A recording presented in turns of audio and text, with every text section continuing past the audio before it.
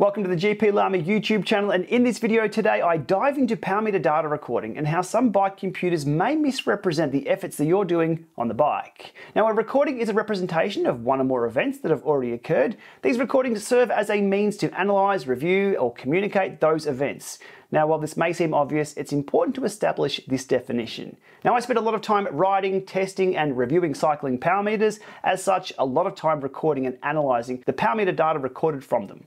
Typically, I focus on the power meter themselves, their accuracy, their precision, their reliability, but all of that depends on the data being recorded properly. The numbers have to represent the actual effort that I put in. If they don't, the data is pretty much useless. You can have a very accurate and reliable power meter on your bike, but that's only half the picture. You also need a bike computer that records the data as it really happened.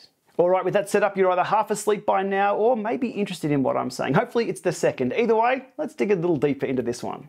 Okay, scenario number one. Let's say your training plan has 4 by 10 minute intervals at 300 watts. That's a solid session. You've got a set of Assioma Pro RS on the bike, dual-sided, as you don't want to be second guessing your leg balance, skewing your numbers, especially as you fatigue later into that session. You get on the bike and get that session done. Good job.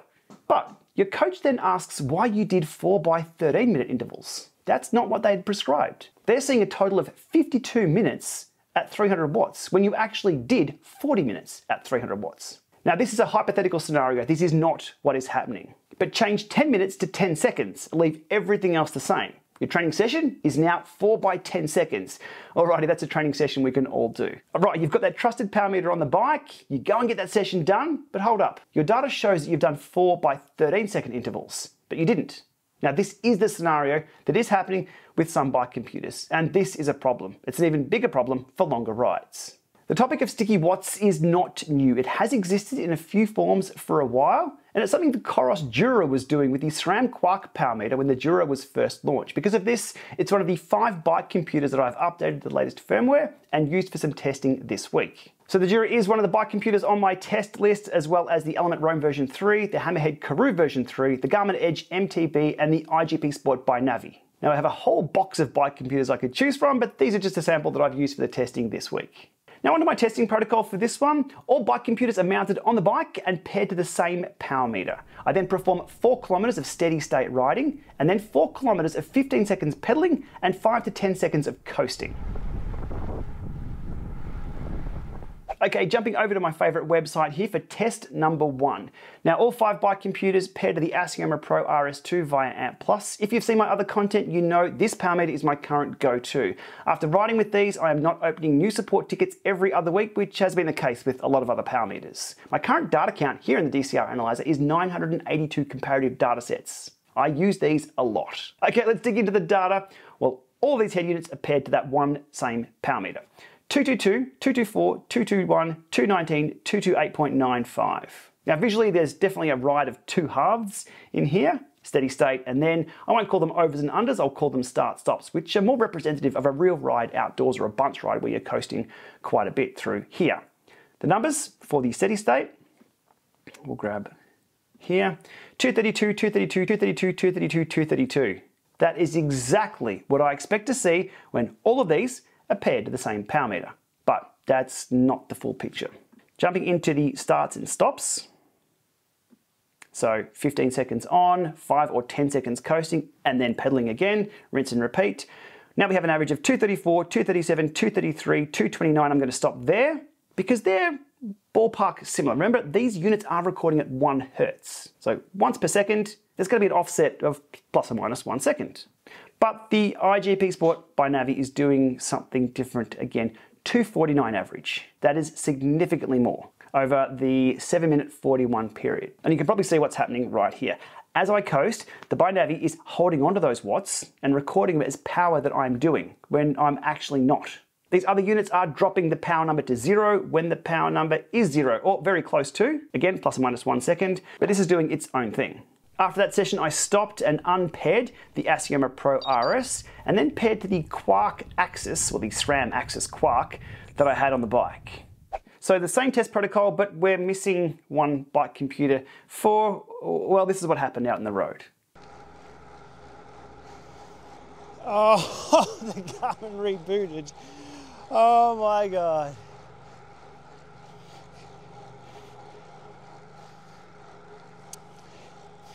I can't make that up. The Garmin Edge MTB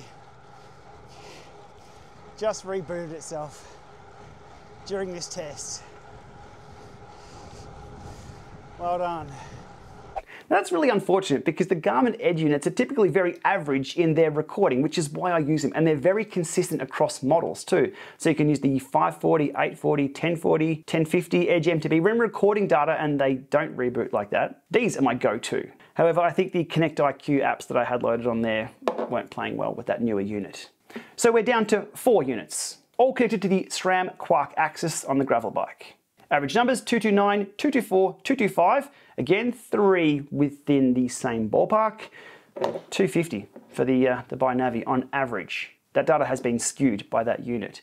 Steady state 235, 234, 234, 234. Very, very close as you'd expect. And when it comes to these starts and stops, We'll have a look at that. 265, 254, 255. So within 10 watts there, it's probably a little bit wider range than what I thought for those three units. But 307, 307. There's no question, that's going to wreak havoc if you're tracking your numbers closely. The iGPSport BiNavi is doing its own thing when connected to the same power meter as these other three. The mean max power graph looks almost comical from the iGPSport BiNavi being way higher than all the rest. And the overall stats, we've seen the average power already, so 229, 224, 225, 250, but the weighted power as well is also skewed. 249, 243, 243, again, same ballpark. iGPSport BiNavi, 274. That's different and not in a good way. So am I making a mountain out of a molehill? I don't think so. You saw the numbers and there's one particular outlier and this isn't the only bike computer that does it either. Look, I want to see bike tech perform better, if not better, then at least perform consistently at the same task as other devices on the market. If you were to swap bike computers halfway through a training block, that's going to mess up your zones. Now this is not what new technology should do. So five reasons this is a problem. Number one, your training accuracy goes out the window. If the device records longer intervals than you actually did, now by intervals I mean one second through to 10 minutes, the data is going to be different on, well, this iGPSport bike computer. Your coach or training platform thinks you're completing different work than reality. It breaks the whole principle of structured training. Number two, progress tracking becomes useless. As cyclists, we rely on accurate data to see fitness trends over weeks and months. If your 10 second sprint shows you're doing 13 seconds, which over a whole ride of that occurring can result in a much bigger problem than just an additional few seconds of effort. Your long-term trends are corrupted. It looks like you're stronger or inconsistent when you're not. Number three, coaching and feedback gets skewed. Coaches or self-coach riders using any number of software platform make decisions based on your recorded numbers. Garbage in equals garbage out. You'll get wrong recovery, wrong progression, and potentially the wrong workouts being prescribed. Number four, and this hits home for me, comparison and testing just aren't valid. In reviewing different power meters, using one or more of these bike computers that skew the data, it's impossible. If one device inflates or misrepresents the efforts that I'm doing, the numbers mean absolutely nothing. In the case of cycling esports, where dual recording is commonly used to verify performance, we could potentially see invalid disqualifications being issued. And that's where things start to get really, really messy. And number five, the trust in technology completely erodes. Cycling power meters are sold on the promise of accuracy. If a bike computer can't correctly record your effort, it undermines confidence in the whole ecosystem of power meters, smart trainers, and software that rely on that data.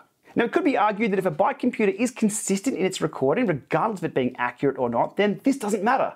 But given the issue only occurs when coasting, when you're not pedaling, it's never going to be consistent. Every ride will have a different amount of coasting. The only scenario where this isn't a problem is in erg mode on an indoor trainer. It could also be argued that sticky watts is an acceptable adherence to the Ant Plus device specifications.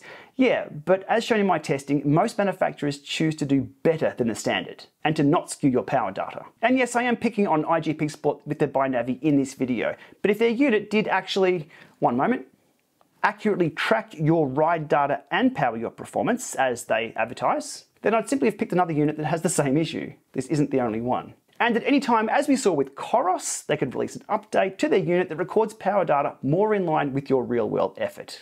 So it's not all bad news. Much. Now further research and testing for this, Bluetooth connectivity needs to be looked into. I was only using Ant Plus for these, and more bike computers need to be analysed to review the data that they record.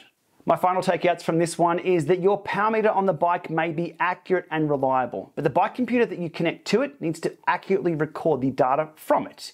If you've got your nose constantly in your bike computer and in the numbers post ride, it's definitely worth checking that your bike computer is showing your real numbers. And with that, we'll leave it there for today. Thanks for watching this one. Hopefully, you've enjoyed the deep dive into how some bike computers record power data. As always, thumbs ups, subscribes if you're not already a subscriber. If you're already a subscriber to the channel, thank you very much for your support, and we'll see you soon.